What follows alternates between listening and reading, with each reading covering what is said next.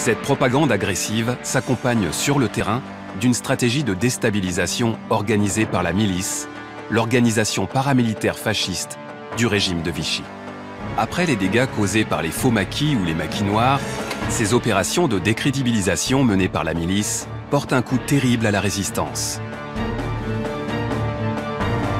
Pour les nazis, c'est le moment ou jamais de lui porter le coup de grâce. Ils espèrent y parvenir en créant ce que l'on appelle des contre-maquis. Pour comprendre de quoi il s'agit, il faut se plonger dans l'histoire de la bande du bossu.